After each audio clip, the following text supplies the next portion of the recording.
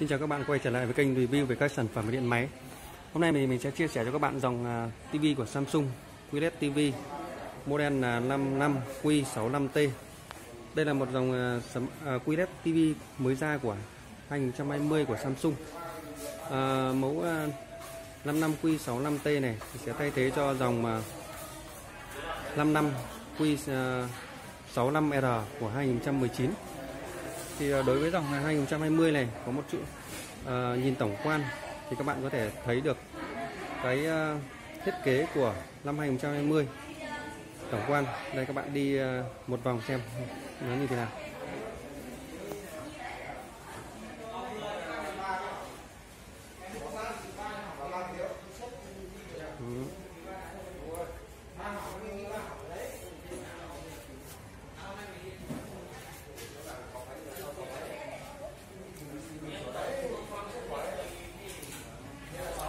Thì tổng quan của con chiếc tivi này nó là các bạn nhìn có thể nhìn thấy có ba cạnh tràn viền tràn viền ba cạnh đó là cạnh à, hai cạnh bên và một cạnh trên.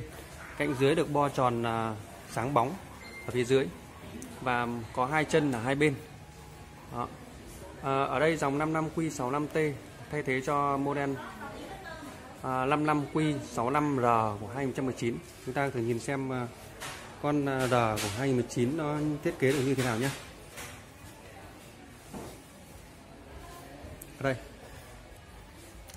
Ở đây mình có một con à, Samsung QLED 6 à, 55Q65R 2019 đó. Thiết kế các bạn có thể nhìn thấy à, thiết kế thì à, nó là viền của nó là viền à, kim loại thôi. Và cái viền à, ba cạnh bên đây. Ba cạnh bên cạnh trên và hai cạnh bên đều thiết kế bo thiết kế dẹp à, to như cạnh dưới đó, nó không được à, tràn viền à, như là năm 2020 đây là các cái à, thiết các thứ nhất là phần thiết kế của con 55Q 65T đây mình đi ra con 55Q 65T nhé.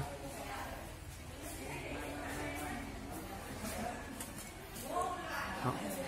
đối với dòng 55Q 65T 2020 mới ra à, có kích thước nó rơi vào à, chiều ngang của nó là 1m23 và chiều cao của nó rơi vào 78 phân. Chiều cao ờ, có chân nhá. À, ở con tivi này thì 55 này sẽ thích hợp cho các bạn treo như ở ờ, treo lên tường hoặc để ở kệ trên kệ các phòng khách và những nơi các bạn có thể vui chơi giải trí trong gia đình. Ở mặt sau tivi thì cũng có thể trang bị cho các bạn đầy đủ. Ở đây có một cái khe khe tản nhiệt này. Ở bên ria này các bạn thấy có bốn cái nút bốn cái nút này là bốn cái nút để các- chúng ta bắt cái giá treo vào. Dây nguồn phía dưới.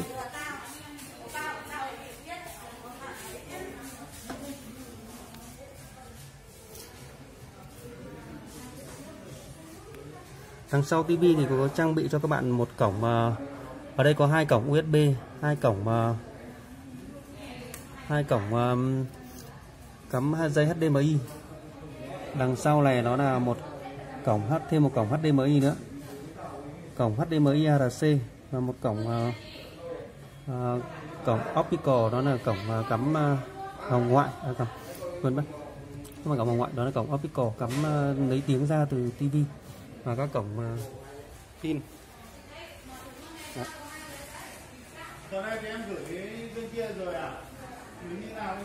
Đó là thì đó là cái phần thiết kế bên ngoài của chiếc TV này à, ở bên trong của chiếc TV đây là một chiếc ờ, uh, QLED QLED ờ, cao cấp của Samsung.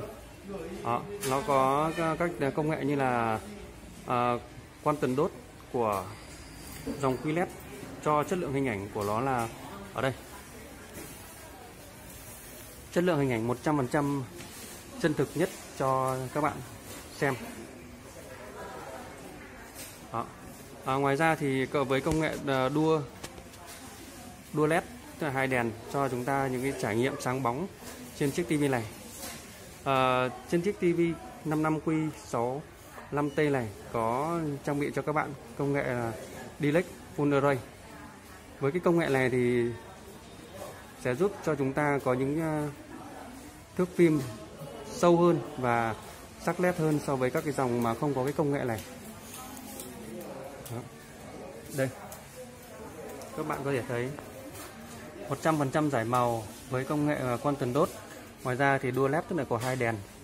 Ở đây có công nghệ quantum à, HDR 10 cộng trở lên cho cái sắc led của TV nó sẽ cao cấp hơn nhiều so với nhiều dòng thường.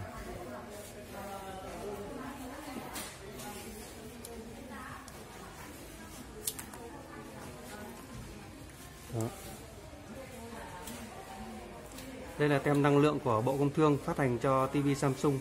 QLED năm 2020 model 55Q65T công suất uh, tiêu thụ điện của nó là 140W Họ, hiệu suất năng lượng của nó là 3.46 tương đối là chất lượng so với dòng QLED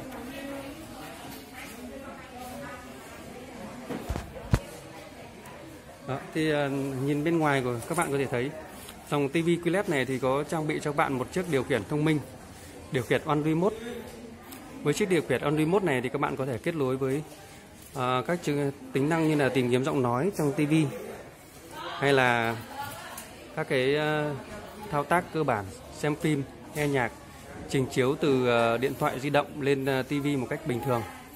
À, muốn trình chiếu lên TV các bạn sử dụng uh, cái công uh, cái uh, ứng dụng uh, riêng của Samsung để trình chiếu lên ở đây thì mình thử vào cái giao diện chính của dòng TV Samsung à, QLED năm nay nhé.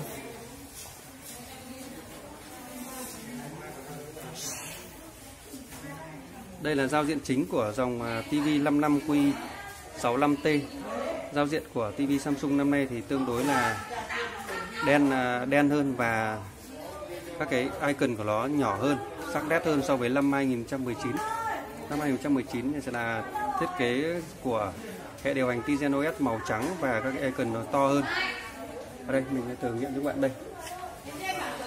Đây là giao diện Tizen OS của năm 2019 màu trắng và cái icon nó to. Các cái thiết bị khác biệt ờ, của hệ điều hành.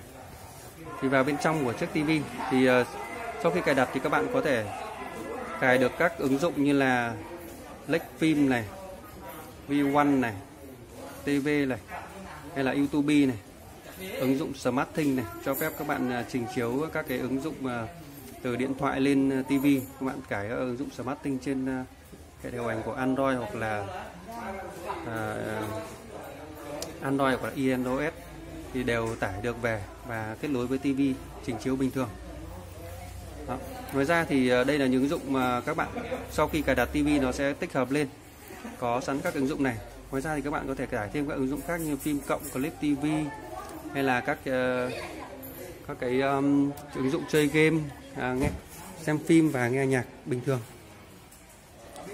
Với uh, chiếc TV này thì các bạn có thể cải tải thêm các cái uh, cắm thêm những cái thiết bị ngoại vi khác như là chuột và bàn phím để kết nối với TV hình ảnh cho thiết hình ảnh sống động nhất từ uh, chiếc TV uh, ờ, dòng QLED này với những hạt chấm lượng tử 4K và một con chip Projection 4K nâng cấp những cái hình ảnh à, từ chất lượng Full HD hay là HD, HD cộng lên gần chuẩn 4K cho các bạn xem. Chất lượng rất là sắc nét. Đây là hình thức phim demo từ nhà sản xuất. Do đó các bạn xem thì rất là sắc nét rồi. Đó, các bạn thử trải nghiệm qua xem. Đó.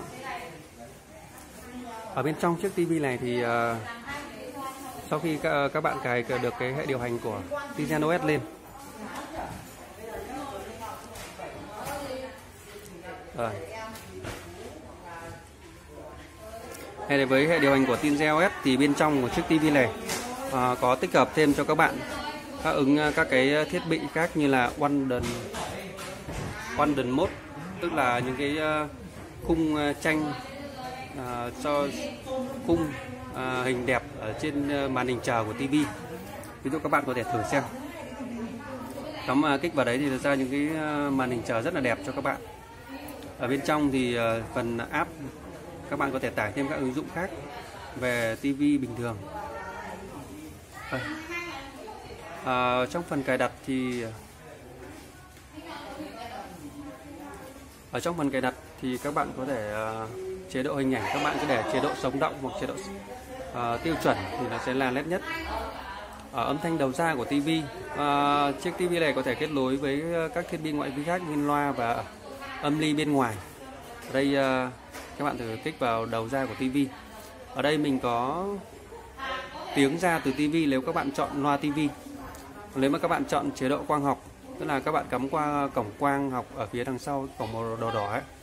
Các bạn cắm trực tiếp dây quang từ TV và dây quang qua âm ly thì sẽ ra được tiếng từ TV ra bên loa. Ngoài ra thì ờ, chúng ta có thể kết nối với các ờ, loa có chức năng phát Bluetooth khác. Thì ờ, chỉ cần vào cái chế độ Bluetooth này và các bạn tìm ra được những, những cái loa mà đang phát Bluetooth bên cạnh mình và phát ra những uh, phim hay video hay hình ảnh từ à không phải không trong chế độ hình ảnh mà chiếu những tiếng từ TV ra bên uh, ngoài loa. Đó, đây là mình đang chưa bật cái một cái loa nào lên để trải nghiệm cho các bạn xem.